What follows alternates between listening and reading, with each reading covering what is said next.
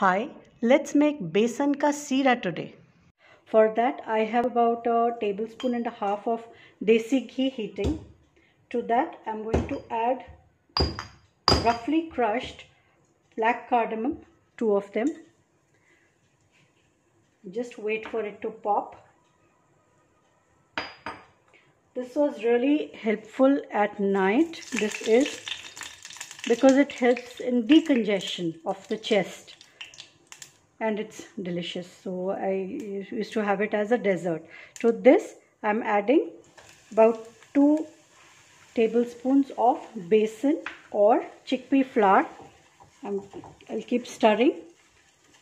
Chickpea flour tends to burn very quickly so turn down the heat and gently cook it till you get a nice toasty aroma. Don't forget to stir often otherwise one part of it will burn and it will become bitter.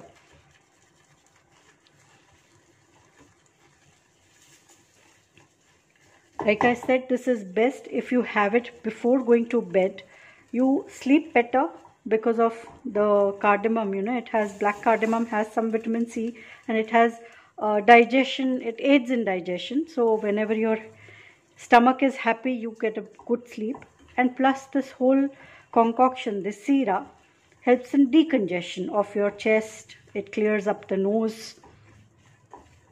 It gives you a good night's sleep. Check out. It has changed the color. Beautiful. To that i'm adding a little bit of turmeric. This is optional. Turmeric has its own benefits. We are all aware of it. And now i'm going to add milk. Two cups of milk. This is a large mug it holds about half a liter. Keep stirring otherwise besan will stick to the bottom. At this point you can add sugar as much as you want. I'm adding just a teaspoon of it or maybe a little more.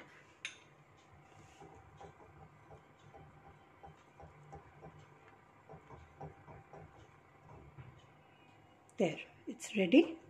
Turning off the heat will pour it in our prepared glasses.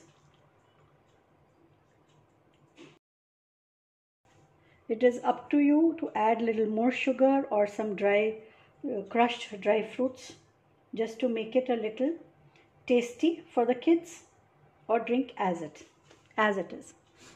Do try besan ka seera. If you like, don't forget to share and subscribe. Let it simmer. Thank you.